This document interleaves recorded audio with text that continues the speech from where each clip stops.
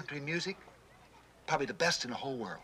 Well, I never had much money, and my friend never had much more. But he ran with the best, and the way he dressed, you think he owned a clothing store.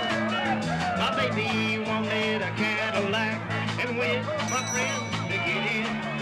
So from now on, I'm a living high if I have to live credit. You don't witches? Witches? Well, I don't know what else to call them, but uh, witches.